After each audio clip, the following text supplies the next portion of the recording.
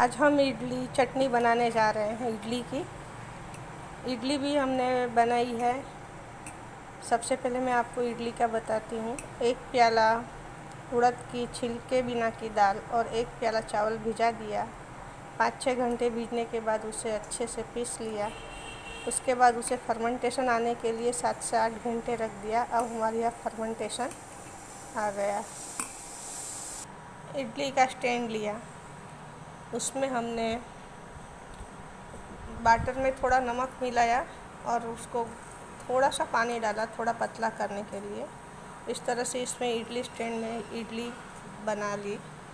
Idli stand में इस तरह हमने इडली का स्टैंड लिया। उसमें एक प्याला पानी नीचे रखा और बाकी वाला इडली स्टैंड में डाल दिया। उसके बाद इस तरह हमारी इडली बन गई। बनाने के लिए आपको बताने जा रही हूँ। हमने चने की दाल लिया एक आधा वाटी, उसको अच्छे से सेक के पाँच छः घंटे के लिए भिजा दिया। उसे तब तक सेकना है जब तक उसमें अरोमा आ जाती है, चने की दाल की आने लगती है। उसके बाद हमने ग्राइंड मिक्सर लिया। उसमें हमने एक एक हरी मिर्ची डाली। और अदरक डाला। एक आधा इंच जितना टुकड़ा अदरक डाला। उसके बाद हमने थोड़ा सा आधा चम्मच नमक डाला। उसमें हमने नारियल के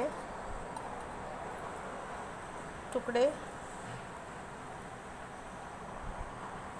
आधा वाटी नारियल के टुकड़े छोटे करके डाले और वो जो भीजी हुई दाल थी, वो भी हमने उसमें साथ में डाल दी।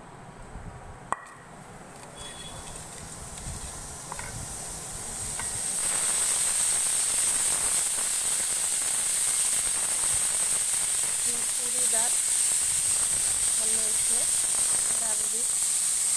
इसमें हम आधा चम्मच सादी लाल मिर्ची डाली और थोड़ा सा कच्चा जीरा डाला। इसमें कच्चे जीरे का स्वाद बहुत अच्छा आता है। और थोड़े से करी पत्ते डाल दिए। आठ दस करी पत्ते। और अब इसे हम पीस देंगे। इस तरह हमारी यह चटनी बनकर तैयार हो गई। अब इसे हम एक बाउल में निकाल लेंगे। अब हमने चटनी जो बनाई है, उसमें हम थोड़ा तड़का लगा रहे हैं, जिससे यह चटनी ज़्यादा स्वादिष्ट लगेगी। हमने दो च, एक, दो चम्मच जितना तेल डाला है,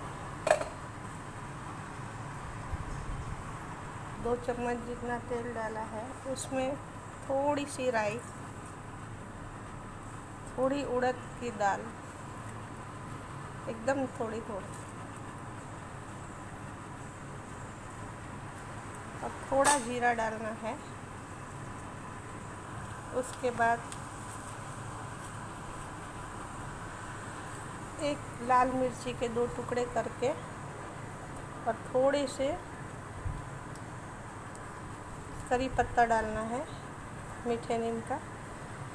यह सब अच्छे से फूट जाने के बाद ही हमने ये पत्ते डालने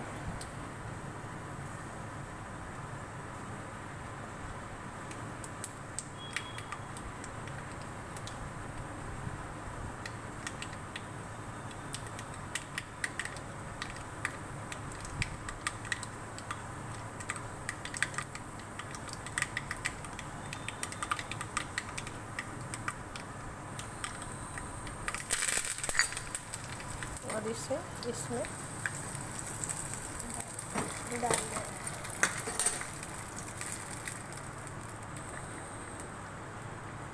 यह हमारी एक चटनी तैयार हो गई। अभी मैं आपको दूसरी चटनी के बारे में बताती हूँ। मैं सुधा किचन से सुधा शाह बोल रही हूँ। दूसरी चटनी के लिए हमने एक कटी हुई मिर्ची और आधा इंच अदरक का टुकड़ा लिया, उसको डाला। उसमें हमने थोड़ा करी पत्ता डाला, दस पंद्रह। थोड़ा आधा चम्मच कच्चा जीरा डाला और यह नारियल के टुकड़े डाल दिए। इसे पहले सूखा ही पीस लेना है। उसमें दो चम्मच शक्कर डाली और आधा चम्मच जितना नमक डाला। अब इसे हम पहले सूखा ही पीस लेंगे, उसके बाद उसमें दही मिलाएँगे। यह हमारी सूखी चटनी पीस गई। अब इसमें थोड़ा सा पानी डाल के इसे और चलाएँगे। अब ये जो पीस गई थी, उसमें थोड़ी कोथिमीर डालेंगे। जो मैंने काट के धो के रखी हुई है। बिल्कुल थोड़ी सी डालनी है। और मैंने गरम किया हुआ दही किया, गरम, थोड़ा गुनगुना गरम किया दही, एक वाटी जितना डालेंगे। ये हमारे में बोलते हैं कि दाल के साथ दही नहीं खाया जाता, यदि उसे थोड़ा गर्म कर लिया जाए तो ही खाया जाता है। मैं सुधा किचन से सुधा शाह बोल रही हूँ। जैन रेसिपी सब बता रही हूँ। ये हमारी हरी चटनी एकदम पीस गई है नारियल की, इडली के साथ खाने वाली। अब इसे हम बाउल में लेते हैं, उसके बाद उसे फोड़ अब हम ये हरी चटनी जो है, उसे हम फोड़नियों देने जा रहे हैं। ये एक चम्मच छोटा तेल का रखा उसमें हम थोड़ी उड़द की दाल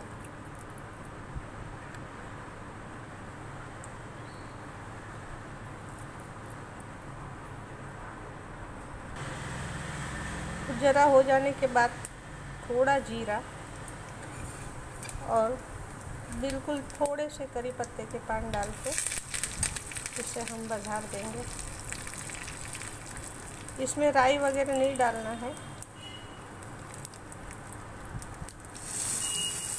तरह हमने इसको बघार दिया यह हमारी दूसरी चटनी भी तैयार हो गई। इडली के साथ यह चटनी बहुत अच्छी लगती है और बनाने में बहुत जल्दी बन जाती है। इस तरह गरम गरम इडली के साथ यह दोनों चटनियाँ बहुत टेस्टी लगती है खाने के लिए। आप ज़रूर से बनाइए।